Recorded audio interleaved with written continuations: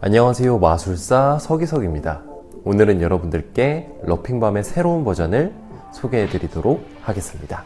바로 러핑밤 V2 스트롱 에디션입니다. Roughing이란 카드 표면의 마찰력을 강화시켜주는 일종의 도료를 칠하는 것을 뜻합니다. 카드에 roughing을 하면 두 장의 카드를 한 장처럼 아주 쉽게 컨트롤할 수 있기 때문에 이것을 이용해서 놀라운 마술들을 만들 수가 있습니다. Roughing Balm은 이런 roughing 작업을 아주 쉽고 간편하게 할 수 있도록 네오매직에서 자체 개발한 고성능 roughing tool입니다.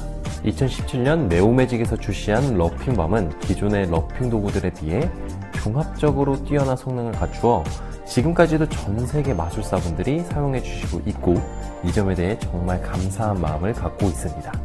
이런 Roughing Balm의 성능을 강화해서 새롭게 출시한 것이 바로 러핑밤 V2 스트롱 에디션입니다.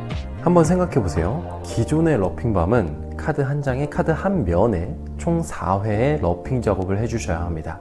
그리고 이 roughing이 깨지지 않게 하기 위해서는 서로가 맞닿는 카드에 같은 양의 roughing 작업을 해 주셔야 합니다. 따라서 기존 Roughing Balm은 총 7, 8회 정도의 roughing 작업을 해 주셔야 합니다. 하지만 이번에 저희가 개발한 러핑밤 V2 스트롱 에디션은요 카드 한 면에 단 2회의 roughing 작업만으로도 기존 Roughing Balm보다도 더욱더 안정적인 카드 컨트롤을 하실 수가 있습니다. 이렇게 roughing 작업량이 줄어들게 되면 크게 두 가지 효과가 있습니다.